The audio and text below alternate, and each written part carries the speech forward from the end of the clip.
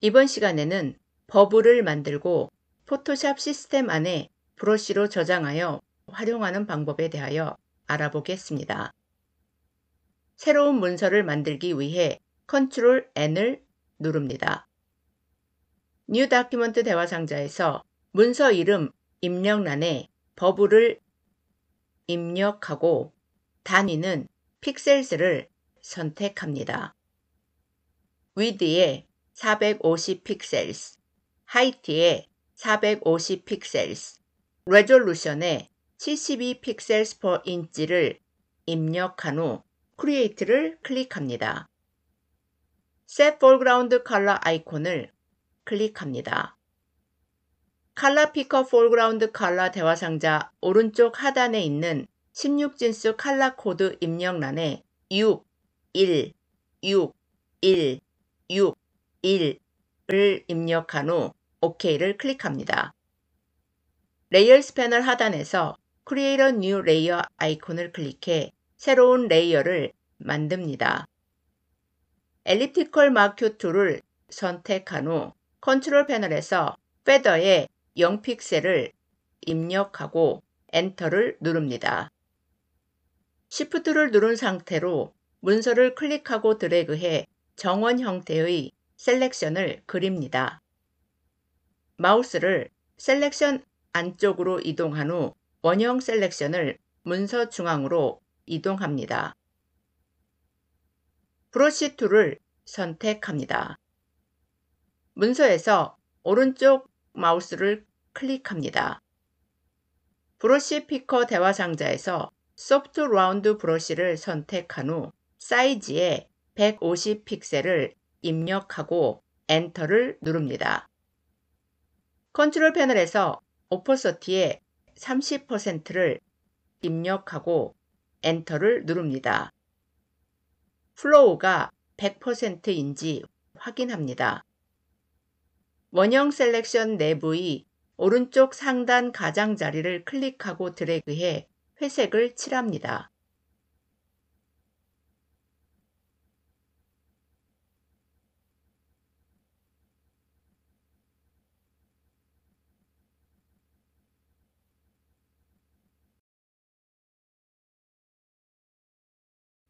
원형 selection 내부의 왼쪽 하단 가장자리를 클릭하고 드래그해 회색으로 칠합니다. 오른쪽 상단보다 왼쪽 하단을 좀 더 진하게 칠합니다.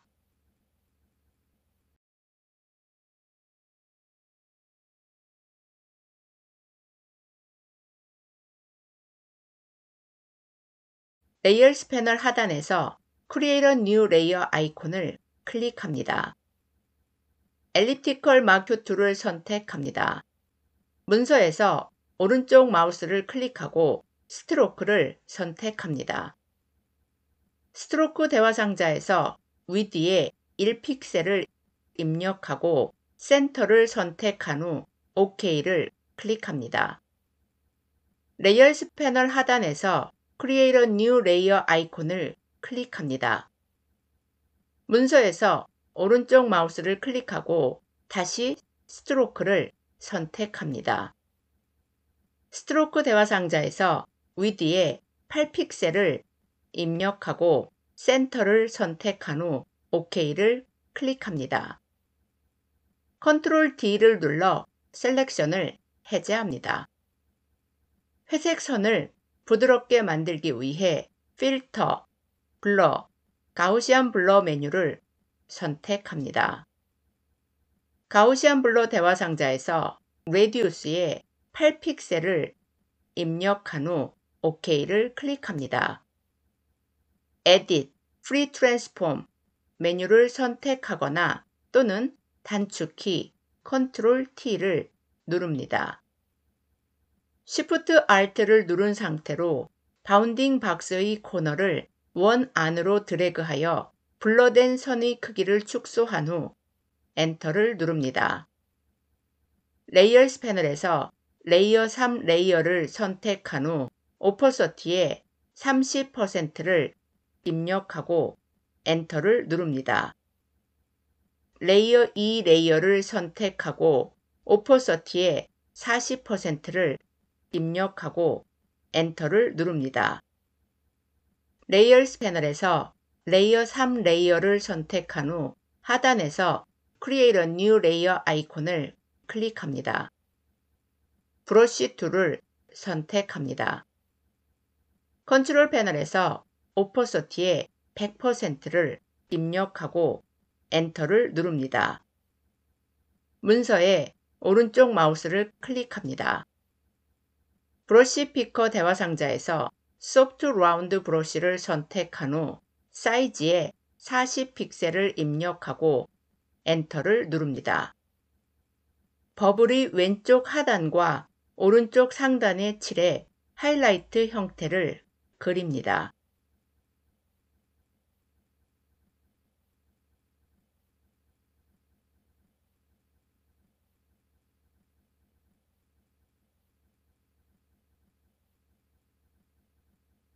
방금 그린 하이라이트 모양의 외곽을 좀 더 부드럽게 만들기 위해 Filter, Blur, Gaussian Blur 메뉴를 선택합니다. Gaussian Blur 대화 상자에서 Radius에 20 pixels를 입력한 후 OK를 클릭합니다. Layers 패널 하단에서 Create a New Layer 아이콘을 클릭합니다. 문서에서 오른쪽 마우스를 클릭합니다. 하드 라운드 브러쉬를 선택한 후 사이즈에 25 픽셀을 입력하고 엔터를 누릅니다. 하이라이트를 그렸던 위치에 다시 하이라이트 형태를 그립니다.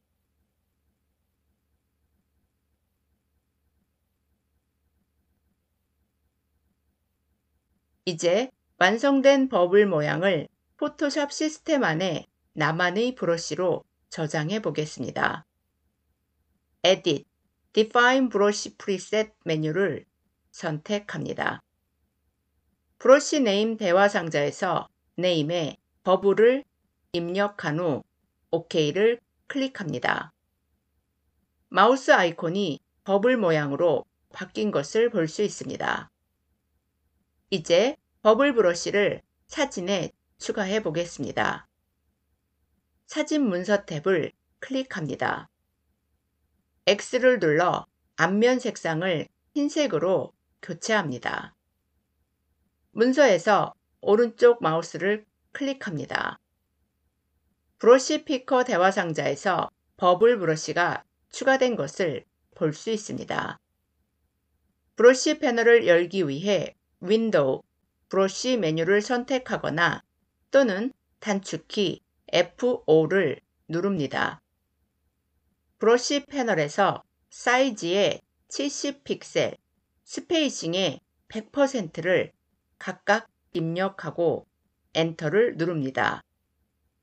브러쉬 패널에서 Shape Dynamics를 클릭한 후 Size Jitter에 60%, Angle Jitter에 40%를 각각 입력하고 엔터를 누릅니다.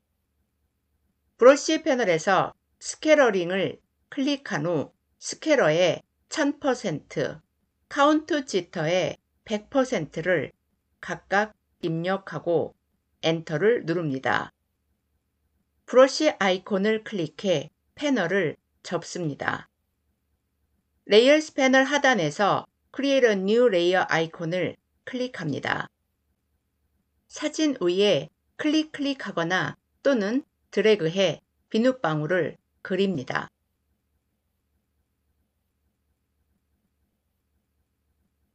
초록의 아름다운 풍경 사진에 서로 다른 크기와 앵글을 가진 진짜 비눗방울 같은 예쁜 bubble이 그려졌습니다. 이렇게 시스템 안에 저장된 bubble brush는 어떤 문서에도 적용이 가능해 bubble이 필요할 때마다 간편하게 Brush Tool을 사용하여 그릴 수 있습니다. 그럼 버블 브러쉬 만들기에 대한 오늘 강의는 여기서 마치겠습니다.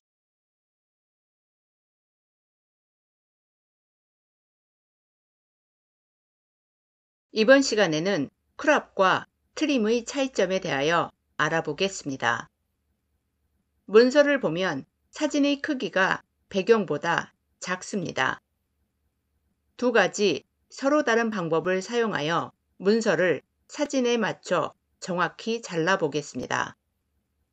먼저 tool을 사용하여 사진을 잘라 보겠습니다. Crop Tool을 선택합니다. crop bounding box의 왼쪽 상단 코너와 오른쪽 하단 코너를 조절하여 사진 크기에 맞춘 후 엔터를 누릅니다. 사진이 완벽하게 잘라졌습니다. Control Z를 눌러 취소합니다. 이번에는 메뉴를 사용하여 사진을 잘라 보겠습니다. Control을 누른 상태로 Layers 패널에서 암스테르담 layer의 thumbnail을 클릭해 selection을 만듭니다. Image Crop 메뉴를 선택합니다. Control D를 눌러 selection을 해제합니다. Rectangular Marquee Tool을 선택하거나 또는 단축키 M을 누릅니다. 사진을 클릭하고 드래그해 자유로운 크기의 selection을 그립니다. 이미지 Crop 메뉴를 선택합니다. Control D를 눌러 selection을 해제합니다. 방금 보신 것처럼 Image Crop 메뉴를 사용하면 selection으로 선택한 영역을 기준으로 간편하게 사진을 자를 수 있습니다. 포토샵에서 Control Z를 누르면 한 단계 이전으로 되돌아갈 수 있고 다시 Control Z를 누르면 이전으로 되돌린 것을 다시 취소합니다. 즉, 다른 그래픽 프로그램과 달리 포토샵에서 Control Z를 여러 번 누른다고 해서 누른 만큼 이전 단계로 되돌아갈 수 없습니다. 그렇다면 몇 단계 이전 단계로 되돌아가고 싶다면 어떻게 해야 할까요? History 패널의 실행 과정 리스트에서 원하는 단계를 클릭하거나 또는 몇 단계 이전으로 되돌릴 수 있는 단축키 Control, Alt, Z를 누르면 됩니다. 되돌아가고 싶은 단계에 이를 때까지 Control Alt Z를 반복적으로 누르면 됩니다. 만약 다시 최근 과정으로 되돌리고 싶다면 Control Alt Z의 반대 단축키인 Shift Control Z를 누르면 됩니다. 즉, Control Alt Z는 여러 번의 undo가 가능한 단축키이고 Shift Control Z는 여러 번의 redo가 가능한 단축키입니다. 이번에는 Trim을 사용하여 문서를 잘라보겠습니다. dog balloon 문서 탭을 클릭합니다. 지금 보시는 문서는 투명한 배경에 강아지 풍선 사진을 가지고 있습니다. 우리가 특정한 형태만 필요하여 pen tool이나 기타 selection tool로 배경을 제거한 상태에서 이미지를 저장할 때 이 상태로 저장하면 실제 필요한 이미지보다 불필요한 투명 배경을 포함한 크기로 저장하게 됩니다. 따라서 이미지를 트레이스한 후에는 투명 배경을 트레이스한 이미지에 맞춰 잘라주는 것이 좋습니다. 이미지, Trim 메뉴를 선택합니다. Trim 대화 상자에서 무엇을 기준으로 자를지를 선택해야 합니다. 지금은 불필요한 투명 배경의 엑스트라 공간을 잘라내야 하기 때문에 Based On에서 Transparent Pixels를 선택합니다. Trim으로 잘라낼 곳이 상하 좌우 중 어디인지 체크할 수 있는 곳이 Trim Away 영역입니다. 지금 이 사진은 상하 좌우 모두에 투명 배경이 있기 때문에 디폴트 옵션 그대로 상하 좌우에 체크된 상태에서 OK를 클릭합니다. trace된 강아지 풍선을 기준으로 상하 좌우에 있던 엑스트라 투명 배경이 깔끔하게 잘린 것을 볼 수 있습니다. 방금 보신 것처럼 이미지, 트림 메뉴를 선택하면 트레이스한 사진 주변에 있는 불필요한 투명 배경을 간편하게 제거할 수 있습니다. 파일, Export, Save for Web Legacy 메뉴를 선택하거나 또는 단축키 Alt, Shift, Ctrl, S를 누릅니다. 지금 이 문서는 사진을 투명한 배경 상태로 저장해야 하기 때문에 Save for Web 대화 상자 오른쪽 상단에서 Optimized File Format 드랍다운 버튼을 클릭한 후 PNG24를 선택합니다. 트랜스페어런시가 체크된 상태에서 세이브를 클릭해 저장하면 다른 프로그램에서 불러와 작업할 수 있습니다. 이제 투명한 배경을 트림하지 않고 저장한 것과 불필요한 투명 배경을 트림한 후 저장한 사진의 차이점을 비교해 보겠습니다. 지금 보시는 일러스트레이터 문서에서 왼쪽 강아지 풍선을 클릭해 보면 투명한 배경을 trim하지 않고 저장했기 때문에 bounding box의 크기가 강아지보다 더 큰 것을 볼 수 있습니다. 반면에 오른쪽 강아지 풍선을 클릭해 보면 투명한 배경을 trim한 후 저장했기 때문에 bounding box의 크기가 강아지와 동일한 것을 볼 수 있습니다. 이 두 개의 이미지는 모두 투명한 배경을 지원하는 PNG24로 저장했기 때문에 이미지 주변이 투명한 것을 볼 수 있습니다. 이번 강의가 여러분이 크랍과 트림의 차이점을 이해하는데 도움이 되었기를 바라며 오늘 강의는 여기서 마치겠습니다.